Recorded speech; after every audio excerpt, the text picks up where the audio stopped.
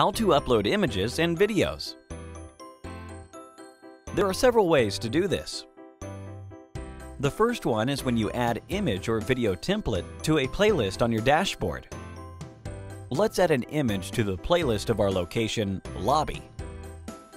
Click on the plus button and select the type of template called Image. In the video that appears, click on the next plus and the pop-up screen for selecting images for upload will appear. You can select any number of images for simultaneous upload. All the uploaded pictures will be immediately added to your media library. Let's say we've chosen six photos for upload. After confirming the selection, the upload will start immediately. Further in this template, we can change the order of image appearance on the display and choose the type of display, a slideshow or a photo wall.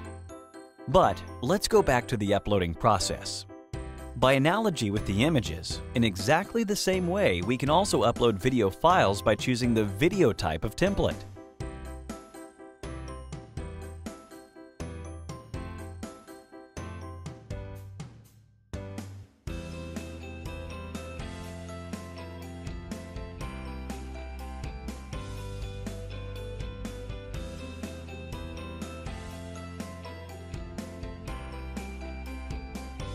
Now, let's see how you can upload media in another way.